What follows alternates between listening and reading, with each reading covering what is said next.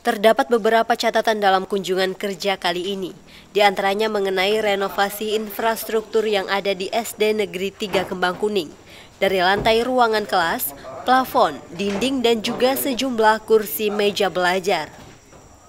Rencananya sekolah dasar yang didirikan pada tahun 1986 ini akan direnovasi menjadi bangunan beton, agar struktur bangunan lebih kuat dan lebih layak untuk dipakai.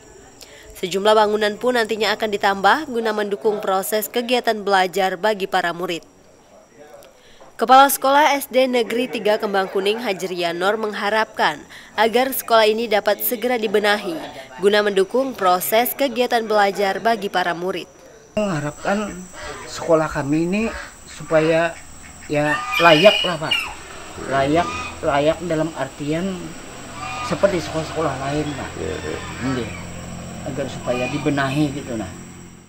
Sementara Ketua Komisi 1 DPRD Tabalong Zainal Ilmi Mahrudi menjelaskan, bangunan Inpres yang tergolong tua dalam jangka panjang nantinya akan dilakukan pembangunan kembali. Secara umum mungkin rumah uh, bangunan sekolah yang uh, dibangun Impres ya Pak ya? Impres. Tahun 84 ya? 85. Tahun 1996 itu ya rata-rata sudah perlu perbaikan ya.